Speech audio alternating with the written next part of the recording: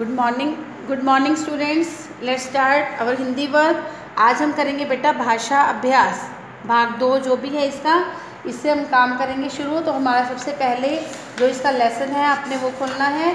आप ये देखोगे पुनर्वृत्ति, यानी पिछले काम की दोहराई है इसमें आपकी। इसको आपने करना है। सबसे पहले दिया हुआ है, दिए गए ऊपर सबसे पहले क्या लिखनी है? आपने डेट लिखनी है। दिए गए चित्रों को देखकर उनके नाम लिखिए। इसमें जो आपको पिक्चर दिखाई दे रही है, आपने मात्राओं का अभ्यास कर लिया है तो आपने, मैं आपको बता रही हूँ और इसमें आपने इसको लिखते जाना है। सबसे पहले है मटर। ये किसकी पिक्चर है? मटर। साइकिल। ओखली। भालू। पतंग। टमाटर। दीपक। औरत सुराही। और लास्ट में क्या है? इसको आँख नहीं लिखना।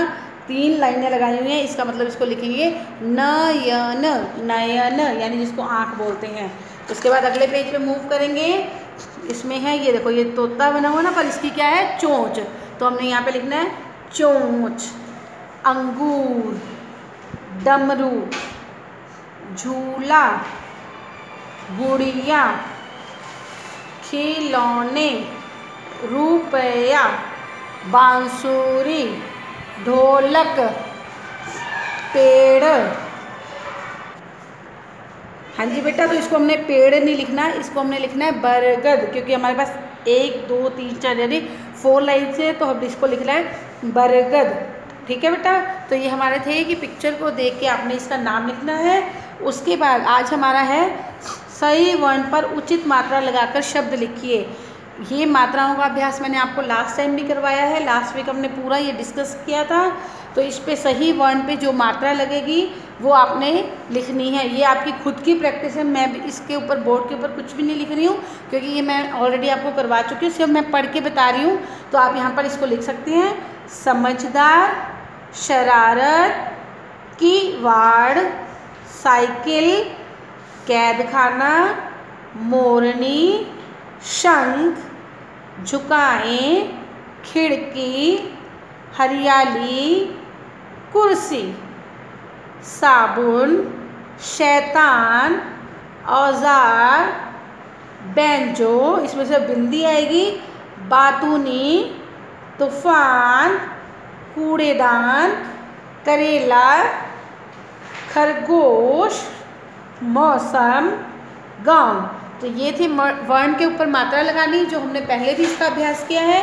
उसके बाद है शब्द का सही रूप चुनकर उस पर घेरा लगाइए।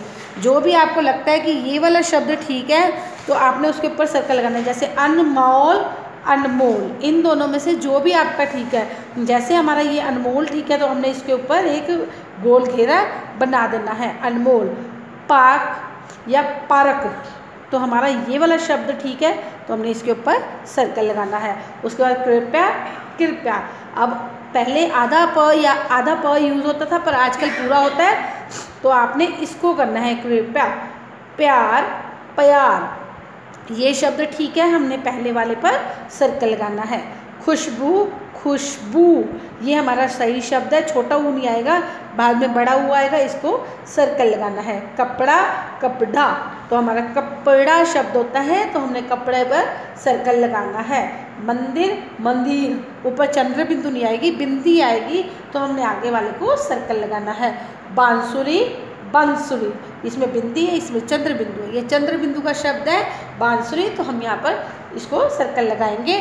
तो आज हमारा भाषा अभ्यास था पेज नंबर एक, दो और तीन। हमारे ये तीनों पेजेज़ हैं जो हमने कंप्लीट करने हैं। आज के लिए इतना ही। ओके बेटा थैंक यू